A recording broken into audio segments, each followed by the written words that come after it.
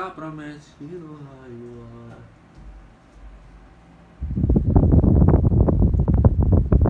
Sem tempo pra perder, bebê, já passou da hora, amigo.